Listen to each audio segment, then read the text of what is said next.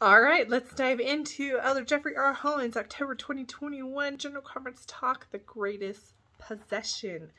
Excellent talk, lots of great points. We're just going to cover three with three questions so that as you study personally or as you share with your family or your church class, you can consider some of these things if you would like, okay?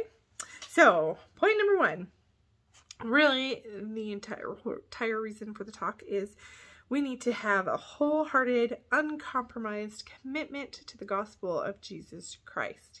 Now, one of the things that I really liked about this talk were all the phrases and words that he used to describe this type of commitment and what we need to be.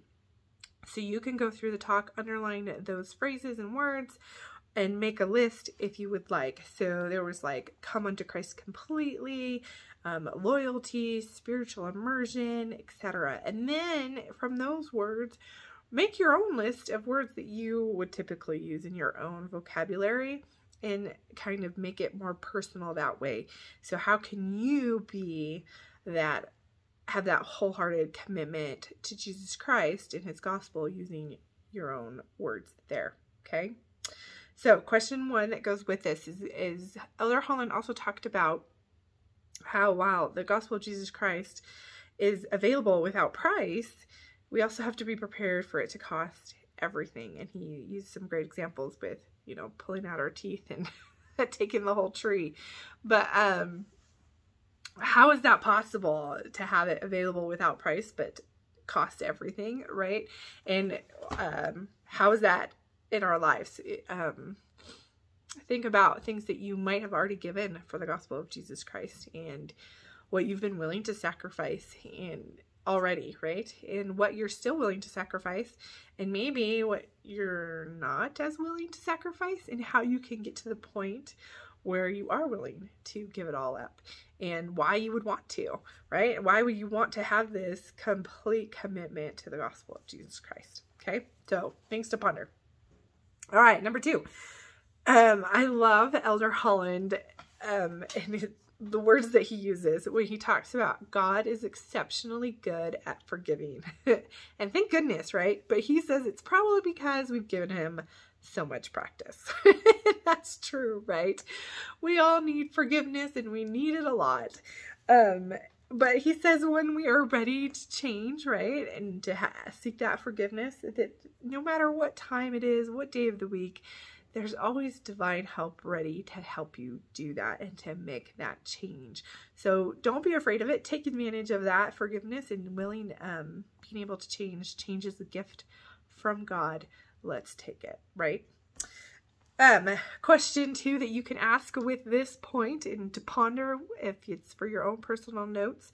Um, President um, Nelson is quoted by Elder Holland in this, in he, with the phrase higher and holier life. That's a phrase that President Nelson uses. And so the question is, how can I seek a higher and holier life in this thing?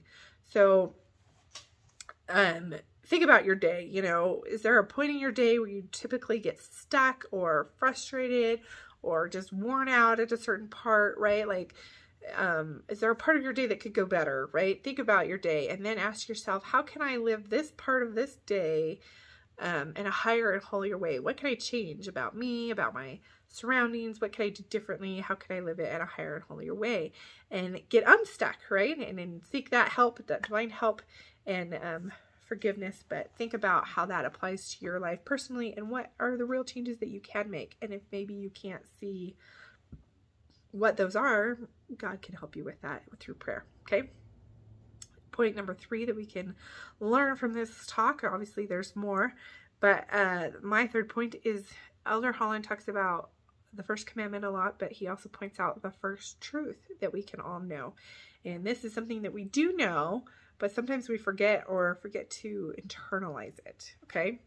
And that truth is that God loves you wholeheartedly, completely, without reservation, just like we should love him, right? He already loves us that way. And the, um, what does that mean to you? When have you felt that? Um, do you need to pray today so that you can feel that again to remember that God loves you completely just the way that you are right this second? Um, and a question that you can kind of ponder as or discuss is how can we increase our love for God then um, and have it dwell in our hearts always? Because, it, you know, we love God, we know that, but how can we keep that in our hearts always? Because sometimes we tend to let it slip. Um, as we go about our routines and our daily activities. And in what ways has the love of God changed things for us already? In what ways might the love of God help us change more? Um, Elder Holland points out how God will give us the ability, the capacity, the will, and the way to love others more. So, um, and to help us solve all these problems, right? Um, I love how he talks about man discovering fire for the second time with this love of God um, and his love for us combining together to create this fire, which really inspires true change and allows us to love others more completely as well. So, great points, great talk. Share your comments, come join our Facebook group um, and the official threads there and discuss this further. Have a great day.